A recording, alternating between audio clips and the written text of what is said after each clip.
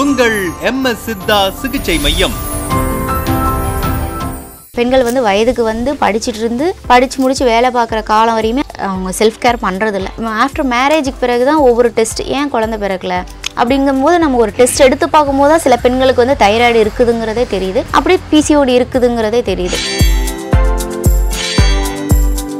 பிசிஓடியில் இருக்க சிம்டம்ஸ் பார்த்தோம் அப்படின்னாக்க கழுத்து பகுதியிலலாம் கருப்பாக இருக்கும். அண்டர் ஆர்ம்ஸ் கருப்பாக இருக்கும். இதுக்கு எல்லாமே வந்து பார்த்திங்கன்னா ஒரு பார்லர் தேடி தான் போவோம். இதெல்லாம் இல்லாமல் நம்ம ஒரு சில உணவு முறைகளில் மாற்றிக்கிட்டு ஃபஸ்ட்டு ஸ்டார்டிங் ப்ராப்ளத்துலேருந்தே நம்ம வந்து சரி பண்ணிக்கலாம். பிசிஓடி இருக்கவங்களுக்கு எல்லாருக்குமே குழந்தை இல்லாமல் போகிறதில்ல எல்லாருக்குமே குழந்தையும் இருக்கிறதில்ல. அது ஒவ்வொருத்தவங்களோட உடல் பாகு தான் அதை தாண்டி கடைசீட்டில் என்ன ஸ்டேஜ் வரும் அப்படின்னா இன்சுலின் லெவல் எல்லாமே வந்து டவுன் ஆகும் டைப் டூ டயபெட்டிக் வந்து நமக்கு வரும். நம்ம இந்த பிசிஓடி பிசிஓஎஸ் அண்ட் இந்த தைராய்டு இது எல்லாத்துக்குமே நிரந்தர முடிவு கொடுக்க முடியுமா? இல்லை இது எல்லாமே நம்ம டேப்லெட் எடுத்துக்கிட்டா மட்டும்தான் சரியா போகும்? அப்படின்ற எதனா இருக்கா? ஆமாங்க. இது வந்து ஆரம்ப நிலையில வந்து நம்ம பார்த்துக்கணும். நம்ம ஆரம்பத்திலே வந்து யாருமே கவனிக்கிறது இல்லை அதனால தான் ஃபஸ்ட்டே சொல்லிட்டேன் பியூபர்ட்டி ஆகிறோம். பியூபர்ட்டி ஆன அடுத்த மாதமே பீரியட் ஆகலை அப்படின்னா அது அலட்சியமாக விட்டுடுறோம் அது வந்து விடக்கூடாது. அடுத்து அடுத்து அடுத்தடுத்து அந்த சைக்கிள் நார்மல் ஆகணும். அது ஆகலை அப்படின்னாலே அடுத்தடுத்து நம்ம வந்து ஒன்று நம்ம ஒரு யூட்ரஸை வந்து ஒரு ஸ்கேன் பண்ணிக்கலாம். நம்ம ஹார்மோனல் லெவல் வந்து பார்த்துக்கலாம். தைராய்டு டெஸ்ட் பண்ண பிளட் டெஸ்ட் எடுத்து தைராய்டு டெஸ்ட் போட்டோம் அப்படின்னாக்கா T three TSH T four இது வந்து லெவல் வந்து அதிகமாக இருக்கும் இல்லையா குறைஞ்சிருக்கும். அதை பொறுத்தே வந்து நம்ம வந்து நம்ம இதில் எத்தனை லெவல் மேம் இருக்குது இப்போ இந்த தைராய்டில் மட்டும்தான் இந்த லெவல்ஸ்ன்னு சொல்லி இருக்கா?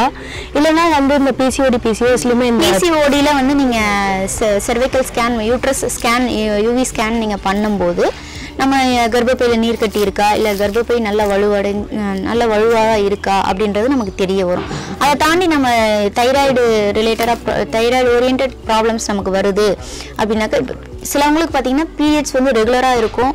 நல்லா ஆக்டிவாக இருப்பாங்க நல்லா இருப்பாங்க. பிசிஓடி இல்லாமல் இரகுலர் மென்ஸ்ட்ரல் ஆகும். அப்போ இரகுலர் மென்ஸ்ட்ரல் ஆகுனா நமக்கு பிசிஓடி இருக்கா அப்படின்ற ஒரு டவுட்ஸ் வரும். அந்த டைம் நம்ம வந்து நம்ம தைராய்டு டெஸ்ட் ஒன்று போட்டு பார்க்கணும். ரெண்டுமே ஹார்மோனல் இம்பேலன்ஸ் தான். அப்போ தைராய்டு டெஸ்ட் பார்க்கும்போது அந்த தைராக்சி நம்ம T three T four TSH இந்த மூணுடைய லெவல் வந்து நம்ம பார்த்தோம். இந்த மூணு லெவல்லையுமே ஏதாவது ஒரு நார்மல் லெவல்லேருந்து ஒன்று இன்க்ரீஸ் ஆனாலும் இல்லை டிக்ரீஸ் ஆனாலும் நமக்கு வந்து தைராய்டு லெவல் வந்து தைராய்டு ப்ராப்ளம் கண்டிப்பாக நம்ம பாடியில் இருக்கும். இது வந்து ஒன்று ஒரு சில உணவுகள் அயோடின் கண்டென்ட் சீ ஃபுட்ஸு இந்த ஆஸ்ட்ரிச் போன அந்த சீ ஃபுட்ஸ் அந்த மாதிரி நம்ம எடுத்துக்கிட்டோம் அப்படின்னாக்கா நல்ல இந்து உப்பு நல்ல உப்பு சார்ந்த இது எடுத்துக்கிட்டோம் அப்படின்னாக்கா சின்ன சின்ன விஷயத்துலேருந்து தப்பிச்சுக்கலாம். ஆனால் அதையே நம்ம விட்டுட்டோம் தைராய்டு இருக்குது அப்படின்னு விட்டுட்டோம் நான் ஒரு எண்ட் ஆஃப் த ஸ்டேஜ் வருது அப்படிங்கும்போது தைராய்டு லெவல் வந்து அதிகமாகும். அதை சரிவர பாதுகாக்க முடியல அப்படின்னா ஒரு கட்டத்தில் ஏஜ் அந்த அது இது எல்லாமே வந்து ஒரு ஆஃப்டர் மேரேஜ் ஒரு குழந்த பிறக்கலை அப்படிங்கிற ஒரு கட்டத்தில் தான் வந்து நிற்கிது பெண்கள் வந்து வயதுக்கு வந்து படிச்சுட்டு இருந்து படித்து முடித்து வேலை பார்க்குற காலம் வரையுமே அதை வந்து அவங்க செல்ஃப் கேர் பண்ணுறதில்ல ஏதோ வருது போகுது அப்படின்ற அளவு தான் இருக்காங்க. ஆனால் தாண்டி இன்னைக்கு ஆஃப்டர் மேரேஜுக்கு பிறகு தான் ஒவ்வொரு டெஸ்ட் ஏன் குழந்தை பிறக்கல? அப்படிங்கும்போது நம்ம ஒரு டெஸ்ட் எடுத்து பார்க்கும்போது தான் சில பெண்களுக்கு வந்து தைராய்டு இருக்குதுங்கிறதே தெரியுது. அப்படியே பிசிஓடி இருக்குதுங்கிறதே தெரியுது. இப்போ நார்மலாக மென்சுரலும் ஆகுவாங்க. அது அப்படி இல்லை எல்லா கழிவுகளுமே வெளியே வருதான்னு அப்பப்போ நம்ம ஒன்ஸ் வந்து நம்ம யூட்ரஸ் ஸ்கேன் பண்ணிக்கிறதோ இது எல்லாமே ஒரு நல்ல ஒரு விஷயம். நார்மலாவே வந்துட்டு ஒரு. ஸ்கேன் எடுக்கிறது எடுக்க- இப்போ நமக்கு பாடியில் நமக்கு தேவையில்லாத வெயிட் கூடுனாலுமே வெயிட் குறைஞ்சாலுமே நம்ம பாடியில் என்ன குறையுது கூடுதுன்றது நம்மளே உணரலாம். வெயிட் கெயின் ஆகுது ஒரு டூ மந்த்ஸ் irregular menstrual ஆகுது அப்படின்னால நம்ம இம்மீடியட்டாக நம்ம போய் ஒரு கைனகாலஜிஸ்ட்டை செக் பண்ணுறதோ இல்லை ஒரு டாக்டர்கிட்ட லேடி டாக்டர் கன்சல்ட் பண்ணுறதோ கன்சல்ட் பண்ணிவிட்டு ஒரு அப்டமன் ஸ்கேன் எடுத்தோம் யூவி ஸ்கேன் எடுத்தோம் அப்படின்னாக்க நல்லா அது அது இல்லை யூட்ரஸில் என்ன கம்ப்ளைண்ட் இல்லை யூட்ரஸ் நல்லா இருக்குது பட் சின்ன சின்ன முடிச்சு மாதிரி இருக்குது அப்போ அது வந்து ஒரு கெட்ட கழிவுகளாக கூட இருக்கலாம். அப்போ நம்ம பீரியட்ஸ் வந்து நல்ல ஃப்ளோ போகிற மாதிரி நாங்கள் வந்து அதுக்கு தகுந்த மாதிரி மெடிசன்ஸ் கொடுத்தா பீரியட்ஸ் ரெகுலர் ஆகிடுச்சு அப்படின்னாக்கா அந்த ப்ராப்ளம்லேருந்து அவங்க ஒவ்வொருத்தவங்களுக்கு வந்து பார்த்தீங்கன்னாக்க இப்போ அந்த பீரியட்ஸ் ஆகுறப்ப அந்த ஃப்ளோ வந்து பார்த்தீங்கன்னாக்க ஒருத்தவங்களுக்கு ஒரு மாதிரி திக்காக இருக்க மாதிரி இருக்கும். ஒருத்தவங்களுக்கு வந்து நார்மலாக ஃப்ளோ அந்த வாட்டர் கன்சிஸ்டன்சி மாதிரி இருக்கும். அதில் என்ன மேம் டிஃப்ரென்ஸ் இருக்குது ஃப்ளோ வந்து ஒவ்வொருத்தவங்களுக்கும் ஒவ்வொரு மாதிரி இருக்கும். தின்னாக இருக்கா திக்காக இருக்கா அப்படிங்கிறதெல்லாம் ப்ராப்ளம் இல்லை. நம்ம வந்து நாப்கின்ஸ் வந்து கரெக்டாக யூஸ் பண்ணிக்கணும். எந்த ஸ்மெல்ஸ் எந்த இன்ஃபெக்ஷன்ஸ் வராத அளவு நம்ம வந்து நம்ம உடம்ப வந்து பாதுகாப்பு பண்ணிக்கணும். அதை தாண்டி வேறு பிசிஓடியில் இருக்க சிம்டம்ஸ் பார்த்தோம் அப்படின்னாக்க கழுத்து பகுதியிலலாம் கருப்பாக இருக்கும். அண்டர் ஆர்ம்ஸ் கருப்பாக இருக்கும். ரொம்பவுமே கருப்பாக இருக்கும். நம்ம இதுக்கு எல்லாமே வந்து பார்த்திங்கன்னா ஒரு பார்லர் தேடி தான் போவோம்.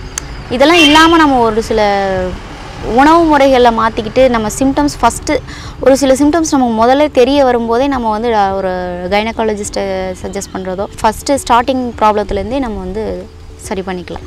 மேம் இப்போ வந்துட்டு இந்த பிசிஓடி பிசிஓஸ்லாம் பார்த்தீங்கன்னாக்கா இந்த மாதிரி சிம்டம்ஸ்லாம் இருக்கும் அப்படின்னு சொல்லிட்டு சொல்லியிருக்கீங்க. இந்த சிம்டம்ஸ்லாம் வந்தும் எனக்கு அது தெரியாமல் என்னால் வந்து அதை சரி பண்ண முடியாமல் நான் விட்டுட்டேன் அப்படின்னாக்கா இது எக்ஸ்ட்ரீமுக்கு போனால் என்ன மாதிரியான விளைவுகள்லாம் நம்ம வந்து சந்திப்போம்? ஆமாம் ஃபஸ்ட்டு எக்ஸ்ட்ரீமுக்கு போகுது அப்படின்னாலே கண்டிப்பாக உடல் பருமன் ஆகிடும் நமக்கு அதில் வந்து ரொம்ப ஸ்ட்ரெஸ் ஆகும்.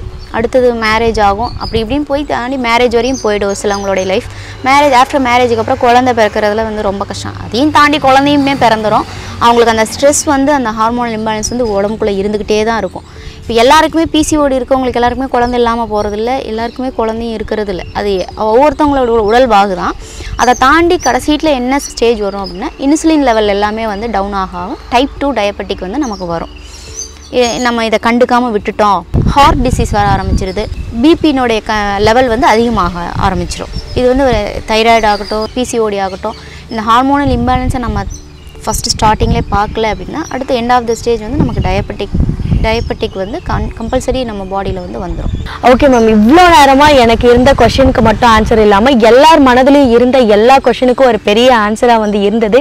இதுக்கு மேலேயும் உங்களுக்கு எதனா ஒரு கொஷின் கேட்கணும் இல்லை இதுக்கு நடுவில் நீங்கள் நிறையா விட்டுட்டீங்க அப்படின்னு சொல்லிட்டு உங்களுக்கு நிறைய கேள்விகள் எழுந்தாலும் கீழே கமெண்ட் பாக்ஸில் வந்துட்டு கமெண்ட் பண்ணுங்கள் இதுக்கான எல்லா பதிலும் உங்களுக்கு கிடைக்கும். நன்றி மேம் தேங்க்யூ மேம் நம்ம சேலம் மாவட்டம் ஆத்தூரில் உங்கள் எம்எஸ் சித்தா சிகிச்சை மையம் தண்டுவட பிரச்சனைகள் கழுத்து வலி தோள்பட்டை வலி முதுகு வலி இடுப்பு வலி சயாட்டிக்கா நரம்பு வலி மூட்டு வலி முழங்கால் வலி குதிகால் வலி முடக்குவாதம் சிறுநீரக கல் பித்தப்பைக்கல் தோல் நோய்கள் தைராய்டு மூலம் ஆண்மை குறைவு மற்றும் அனைத்து நாட்பட்ட நோய்களுக்கும் எம்எஸ் சித்தா சிகிச்சை மையம். இடம் எம்எஸ் சித்தா சிகிச்சை மையம் அகத்தியர் தோட்டம் அரசு மேல்நிலைப்பள்ளி அருகில் கல்பகனூர் ஆத்தூர் சேலம் ஆறு மூன்று ஆறு ஒன்று பூஜ்ஜியம் ஒன்பது. தொடர்புக்கு double nine five two eight three one seven five six. ஆன்மீகம் சித்த ரகசியங்கள் மருத்துவ குறிப்புகள் அனைத்தும் தெரிந்து கொள்ள சப்ஸ்கிரைப் செய்து கொள்ளுங்கள் M S Siddha YouTube channel.